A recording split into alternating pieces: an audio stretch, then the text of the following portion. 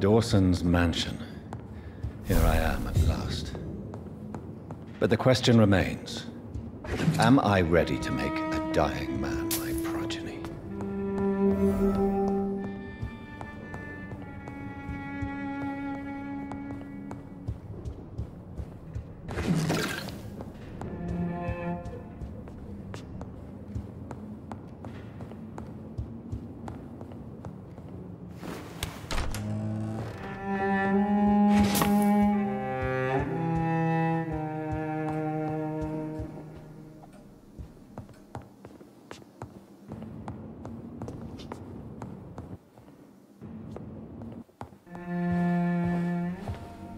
Finally, you're here, Dr. Reid. What took you so long? I had to pass several of your barricades and outposts to access your mansion, sir. Death, pestilence surround us, and time is against me. I see you've gathered some of the most expensive, albeit experimental, blood transfusion equipment available. All this could be so useful in a hospital. Yes, yes. Since Lord Redgrave sent me a doctor to perform my conversion, I thought you might find some of these devices useful. Most thoughtful. But tonight I'm not here as a physician. But I feel reassured that a specialist such as yourself would help me to escape the Reaper. Very well. But before I proceed,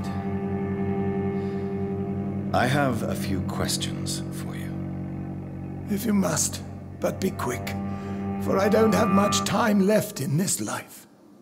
First of all, I need to be sure that you know exactly what is going to happen to you, sir. I can assure you I'm as informed as any man can be. I have planned for this moment, Dr. Reid.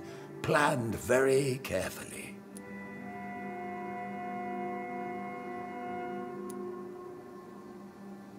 Sir, I'm going to end your life. Do you not wish to discuss the procedure for even a minute? I don't have a minute to indulge in idle chatter. I can't feel my legs. And the cold, so cold.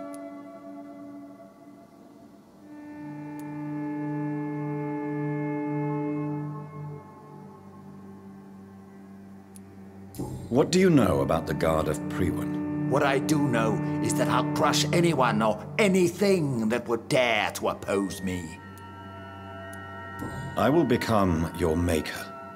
Do you understand what that means? Well, I certainly won't consider you my liege or some such drivel. You can be assured of that.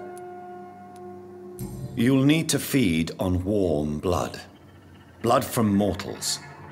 How do you feel about that? I'm rich, Dr. Reid, and powerful. I'm sure I'll be able to acquire all the blood I need without ever having to sully my own hands. Let's move on then. Please, I'm cold and tired.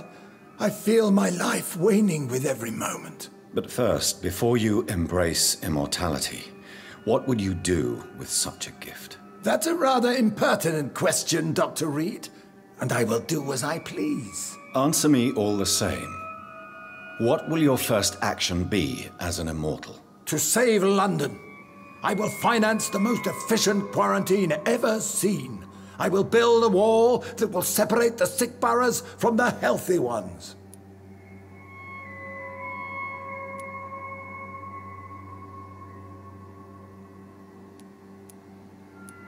Who gave you the right to decide the fate of thousands of people? My money. My money and my pending immortality gives me the needed authority, Doctor. I'm a businessman. I'm used to tough decisions. You really plan to build a quarantine wall across London? Yes, it will be tall and strong, separating the wheat from the chaff.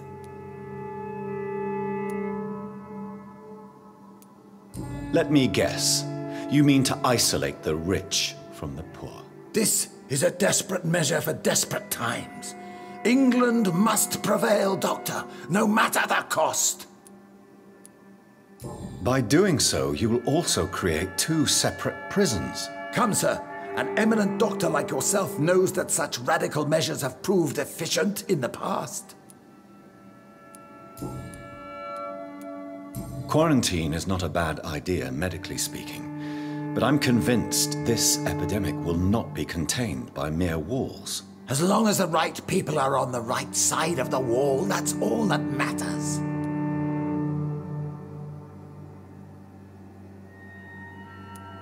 What if a new outbreak happens inside your walls?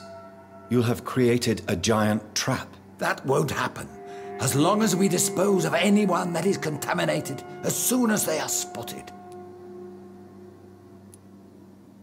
But you can't guarantee infection will not spread. Just one contagious carrier would be enough to create an apocalypse. The apocalypse is already knocking at the gate. We must be strong now.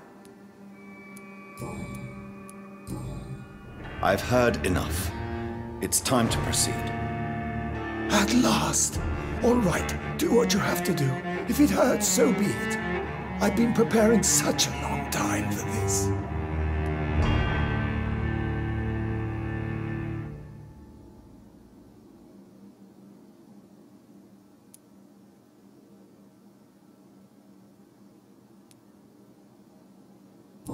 You don't deserve immortality, Mr. Dawson. What? What are you prattling on about?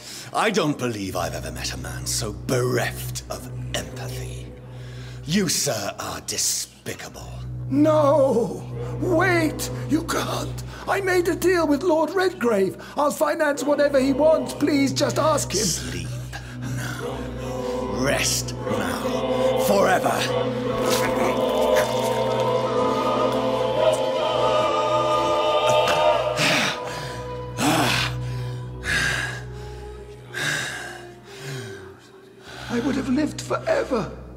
Who are you to decide my fate?